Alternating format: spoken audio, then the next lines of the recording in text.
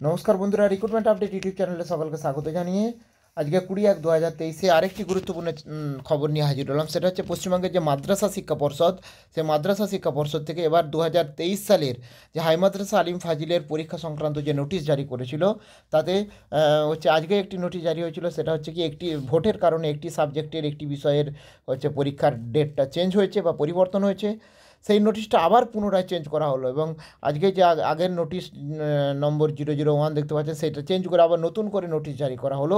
সেখানে আগের যে চোদ্দ তিন দু হাজার তেইশে যে পরীক্ষাটা ছিল সেকেন্ড ল্যাঙ্গুয়েজের সেই চেঞ্জটা চোদ্দ তিন দু হাজার তেইশে হবে না, সেই চেঞ্জটা হবে নয় তিন দু হাজার তেইশে। অর্থাৎ সাতাশ দুই দু হাজার তেইশে যে সেকেন্ড ল্যাঙ্গুয়েজের পরীক্ষাটা ছিল হাইমদ সালিম ফাজিল এর ক্ষেত্রে, সেই পরীক্ষাটা হবে নয় তিন দু হাজার তেইশে। আবার ডেট চেঞ্জ করল হচ্ছে মাদ্রাসা শিক্ষা পর্ষদ।